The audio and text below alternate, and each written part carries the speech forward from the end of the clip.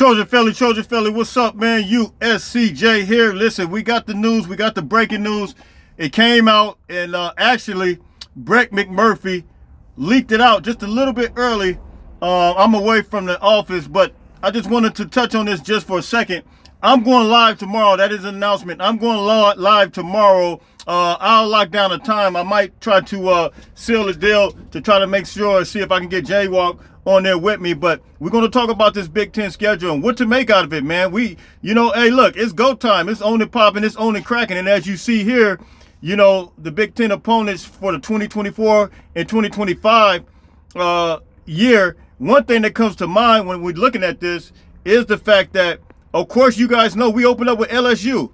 LSU next year, and then we're going to have these other games that uh, th that are going to be home. And then the 2025 year, you guys know we open up with uh, Ole Miss on the schedule. So off off of the back, off the top, we already can see that USC is going to have it.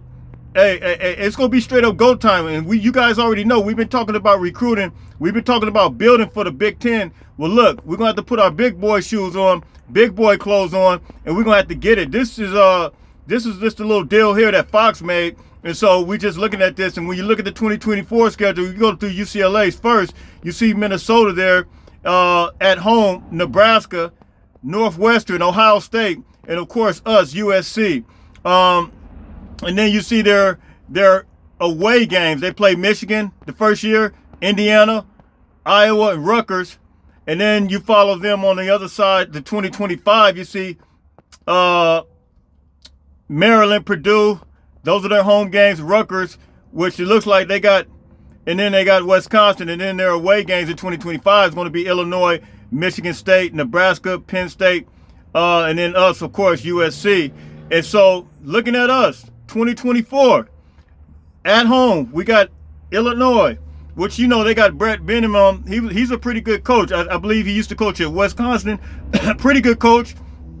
You got uh, Iowa as well, and then of course you got Michigan. Michigan's going to be at home, and we got Wisconsin.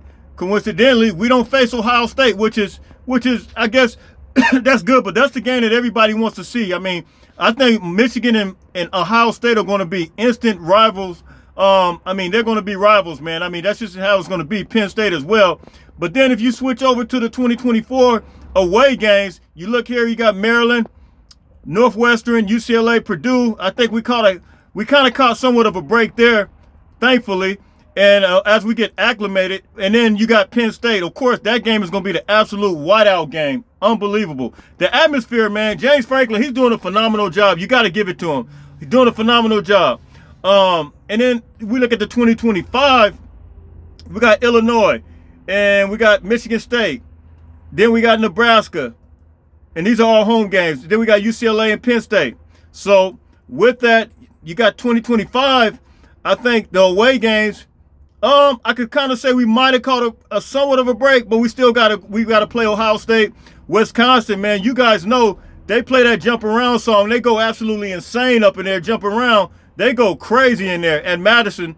So we know that's going to be a hostile environment. Rutgers, I don't know so much. Minnesota, they might have it packed up. Let's pray. Let's pray that Minnesota is not, you know, in November because it's going to be we, we're going to be lost in the sauce. You know, I might have a whole ski suit on playing in Minnesota. You know, something to keep me warm because I'm gonna be. Look, it's gonna be crazy. And then Ohio State, you, you know that that's gonna be absolutely lit, man. So you guys hit me the comment section. I will go live tomorrow. I'm gonna post it on Instagram or somewhere, uh, and my Twitter and YouTube, uh, and, and just to let you guys know what time I'm going. Um, but I will go live. We'll talk about this in depth a little bit more. Until later on, everybody stay blessed. Fight on, fight on, fight on.